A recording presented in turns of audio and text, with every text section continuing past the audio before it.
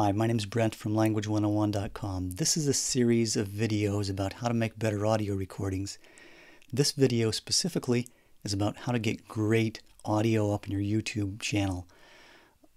So what we're assuming here is you've already got wonderful sounding audio on your desktop. So if you don't already have wonderful sounding audio on your desktop, you probably want to watch some of the rest of the videos in the series. But if you've already got great sounding audio on, the, on your desktop and it does not sound great once you put it up on YouTube, this is the video for you. So here's what we found. We've looked at all kinds of strange things full moon, high tide, anything we can think of.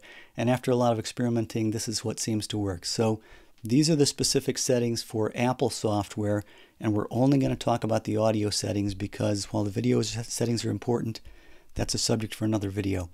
So what you want to do is you want to go to your either iMovie or QuickTime or, or uh, Final Cut, some version of Final Cut.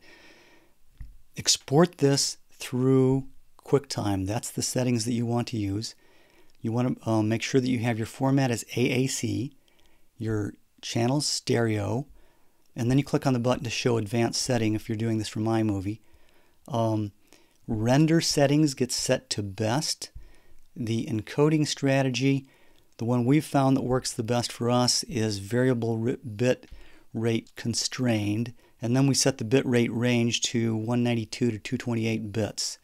So that's the setting that seems to work the best for us, and that's um, what we found to be a good thing. We don't think we know everything that there is to know about getting great audio up on YouTube. So if you have some comments, some things you'd like to add, or you can help other people specifically with other software to do this with, please post those comments right below.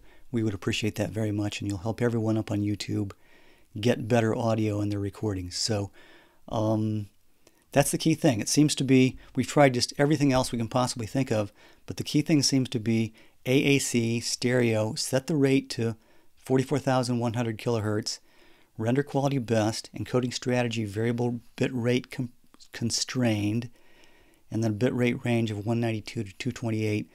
That seems to work very, very well, and that should get you good audio um, up on YouTube.